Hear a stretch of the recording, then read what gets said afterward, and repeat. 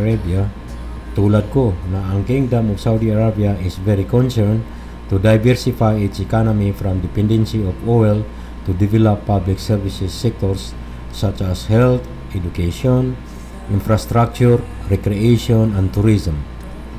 Key goals including reinforcing economic and investment activities, increasing non-oil international trade, and promoting a softer and more secular image of the kingdom.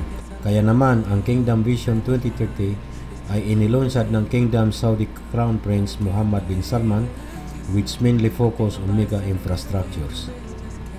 Narinig na natin ang mga naunang announcement patungkol sa mga mega infrastructure project. Katunayan ang mga ito ay halos naumpisahan na. Ito ay ang new mega projects consisting the line which is a city of 170 km long. Pangalawa, ang Oksagon, the floating port city. Pangatlo, ang Trujena, massive skiing resort at ang Mukab. Ito ay bukod pa sa Jeddah Economic City na alam naman natin lahat ang massive demolitions na nangyayari na at halos nasakop na po ang kalahati ng Jeddah. Dahil ang topic natin for today's content ay patungkol sa Mukab Mega Project, ito muna ang pag-usapan natin. Lately, ayon sa resources, the kingdom has announced the constructions of Mukab Ibig sabihin ay under flagship of Kingdom Slogan Vision 2030. Ang Mukab City ay napakalaking gusali na ang itsura ay.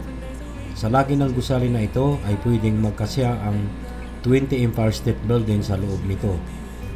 Ayon po sa Saudi Arabia, it described as a gateway to another world. Ayon sa disenyo nito, ay mayroon holographic dome that transport its visitors to other planets and magical worlds. Ang holographic dome ng Mokab ay naging viral marketing stunt ng project na ito.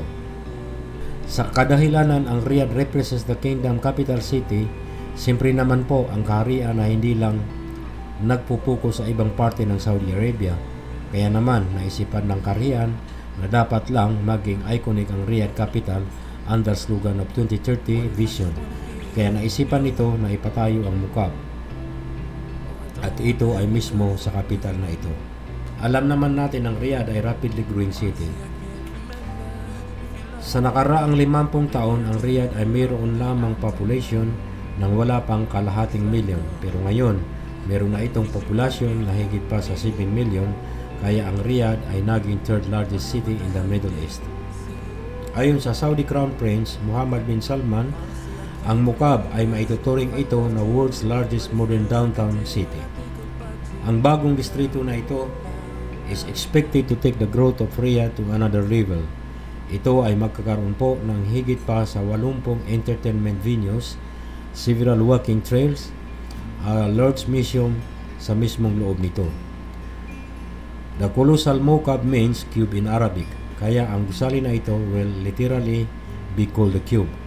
Building simple geometric shapes at an ancient scale seems to be a theme for Saudi Arabia's mega projects after the line and the Octagon.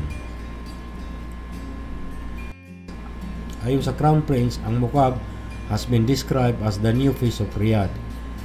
Ang panglabas nito is inspired by Najdi architecture ang traditional disenyo na ginagamit ng mga katutubong Saudi sa mga nakakalipas na mga daan-daang taon. Ang napakagandang surface nito will shine in the sun and dominate Riyadh's skyline. Ang scale nito will be breathtaking. Sa taas nitong 400 meters, it will technically count as a superstore skyscraper. Pag ito ay nilagay mo sa Dubai, it will be the fourth tallest building.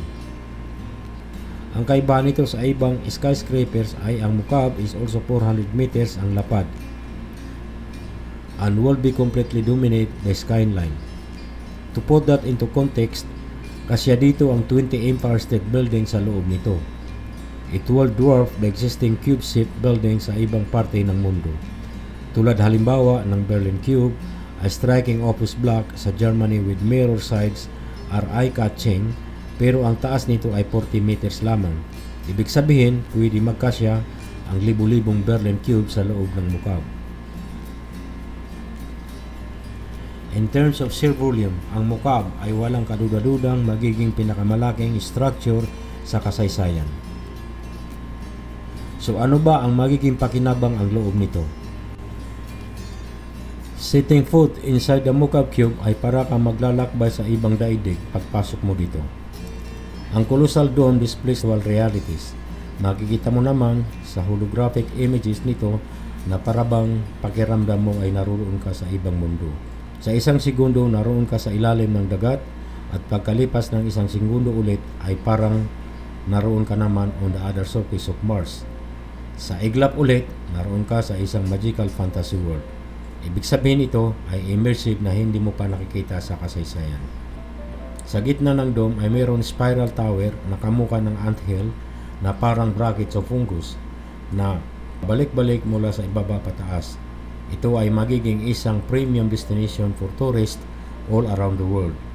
Sa loob nito, magkakaroon ng sari-saring restaurant, hotel rooms, observation platforms, cinemas at theaters. Ang tower at dome ay nasa paloob nitong higanting Mukab Cube. Ang apat na sulok nito will be packed with facilities stuck up in skyscraper-like towers. Ang pinakaibabaw naman ito ay magkakaroon ng housing, lawa, lawns, and trees. If you enjoyed this video so far, please support us on our way to 100k subscribers and make sure to subscribe to Daily Hype Trucks channel. Ayon sa designer ng mocap, ang cube shape design ang pinaka-efficient shape ayon sa advanced technologies experience. Sa pagitan ng dome at shell nito ay magkakaroon ng robust array of joists and beams para dalhin ang bigat ng gardens sa, sa ibabaw nito. The mocap will definitely give Riyadh a unique landmark that would make the city instantly recognizable among other big cities in the world. It's like the Eiffel Tower in Paris or the Statue of Liberty in New York. Whenever anyone sees a photo of the cube, they will instantly think of Riyadh.